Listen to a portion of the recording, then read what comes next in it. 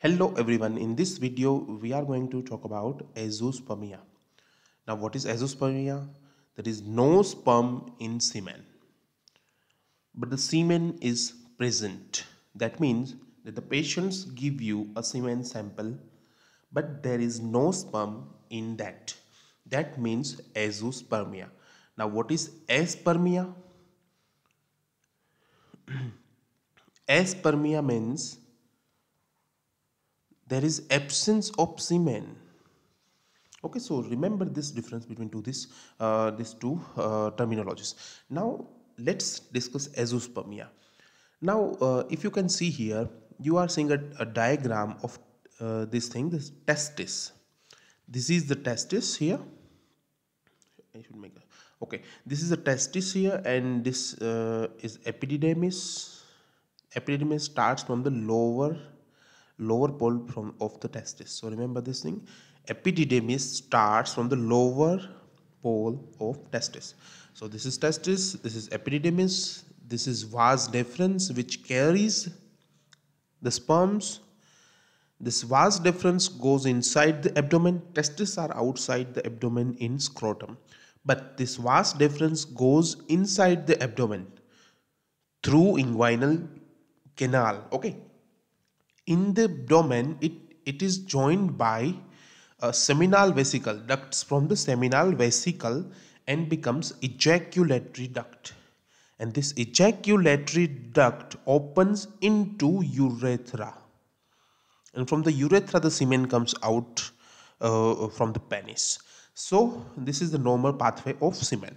Now both ejaculatory duct open in the urethra. Now uh, let's discuss this diagram also. This is a uh, pituitary axis. For example uh, here in the brain there is a pituitary gland. The pituitary gland will secrete FSH and LH both. Both of these hormones will stimulate spermatogenesis as well as other hormone secretion or other hormone uh, uh, synthesis in testis. And what is the hormone of testis testosterone. Okay? So fsh will uh, uh fsh will do uh, or encourage the testes to make testosterone. This testosterone in turn give the negative feedback to the fsh okay? So uh, the FSH is checked by this testosterone, this uh, negative feedback of testosterone.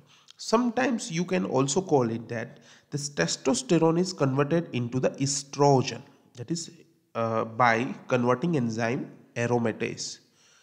This estrogen also inhibits the FSH. So whatever the uh, the products of testis, remember testis also secretes testosterone as well as estrogen.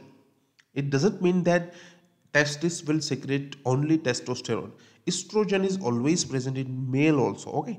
So this will this both hormones will again do a negative feedback of pituitary uh, to check the fsh okay? So this is the pathway of uh, how testosterone is generated. Now when a patient comes to you or if you see a case of azoospermia then you need to do some basic tests of that patient.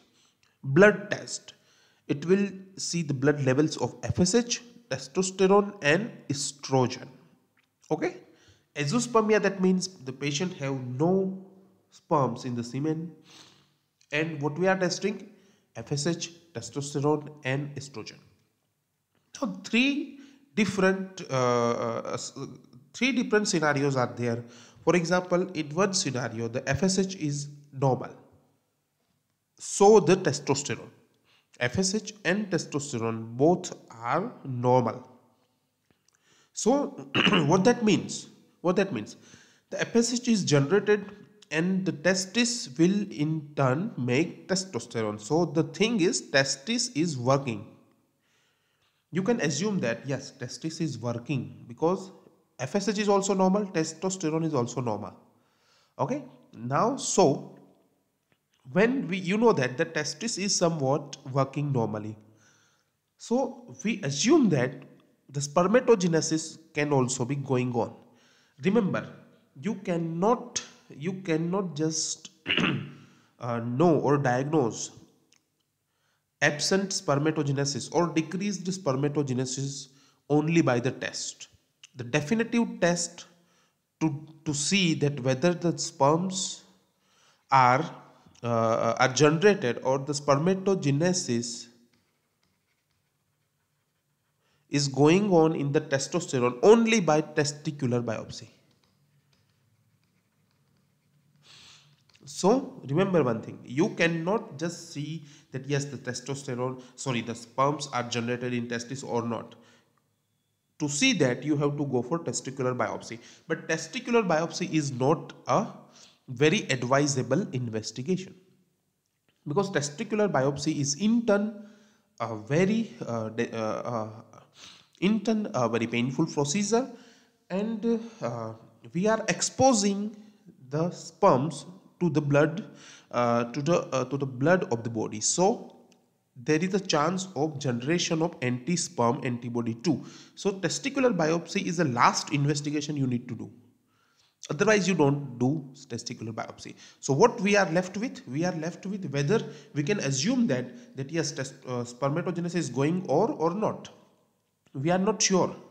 Okay? So what we do? We just do some blood test. That is FSH and testosterone and estrogen if FSH is normal then you can say that yes pituitary is working if testosterone is also normal then you can assume that that yes testes are working and when you do a physical examination of the scrotum, if you find that the testis size is normal, then you can sure uh, somehow you can assume that yes, the testis is working and spermatogenesis is going on.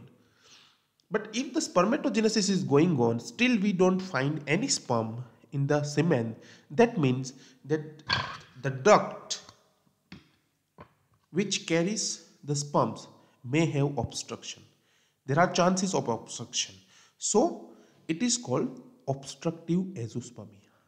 When you call obstructive azoospermia, the sperms are generated in the testis, spermatogenesis is going on into the testis, the sperms are present into the uh, testis and epididymis, but they are not coming through the semen. So there is some obstruction. So this kind of azoospermia is called obstructive azoospermia.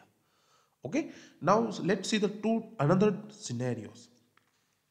The very common scenario in case of azoospermia is FSH is increased and the testosterone is decreased. What that means? The FSH is working. The pituitary is giving lot of FSH but it is a problem in testis where it cannot generate testosterone enough testosterone so there is no better negative feedback to the FSH here. So that's why FSH is increased. Okay, FSH is there, testis cannot generate enough testosterone. That's why there is there is lack of negative feedback. That's why the FSH is high and testosterone is low. In this scenario, you can say that you can assume that there is a testicular failure so, the reason of azoospermia may be testicular failure in general. Okay, if you do a physical examination of that testis, if you find that testis size is very small and uh, uh, sometimes you cannot find testis even, so you can say that yes, there is testicular failure. And that is non-obstructive azoospermia. Okay? The third scenario is fsh also decreased testosterone is also decreased. Here the problem lies in the pituitary. The pituitary is not generating enough amount of fsh that's why it cannot encourage the testis to make the testosterone. So there is a pituitary failure is, this is also cause of non-obstructive azoospermia. Here, the situation is called hypogonadotropopituitarism. Okay, now, what can be what can be the treatment if you see here? In the first scenario where the FSH is normal, testosterone is normal, you can say that yes, there is sperms are generated, but maybe the reason that the sperms are there in the testis. So what you can have an option, you have to go for IVF. If the if the person wants to become a father then you can get uh, sperms from the testis directly with the help of TESA.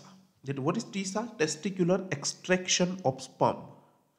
Okay, so directly you get sperms from the from the testis via uh, uh, via surgical procedures. So when you can do a TESA or when you can get uh, uh, when the person can become father only when there is uh, you can find sperms in the testes. Sometimes some urological procedures are also there uh, whether they will check whether there is any obstruction in the pathway and uh, if, if they find an obstruction they can just uh, re-anastomosis that thing. So again there are chances of success but when this thing is there, testicular failure is that, that means that there are no test, there are no sperms found in that thing. Okay, there is very less likely that we can find sperms when we do a testicular biopsy or we do a TESA. So that's why in this case we don't do a TESA. Okay, when there is a hypopituitarism, then we need to give FSH and LH uh, uh, from outside so that you can assume that yes again the testis will start generating sperms as well as, well as testosterone. So these are the basic thing about azoospermia if you know this thing then it's enough for a, med- a mbbs person to know this kind of uh, picture whether you find a patient of azoospermia thank you friends